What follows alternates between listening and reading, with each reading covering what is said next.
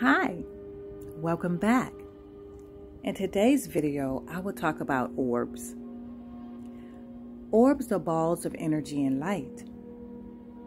Some people feel it's the energy field of a spiritual being on the other side sending you healing energy. Orbs appear in many different colors. This green orb floating across the screen is a nature orb. It can be an elemental energy. It represents healing, oneness with earth, and the heart. Isn't that beautiful? If you like this video, please like, share, and subscribe.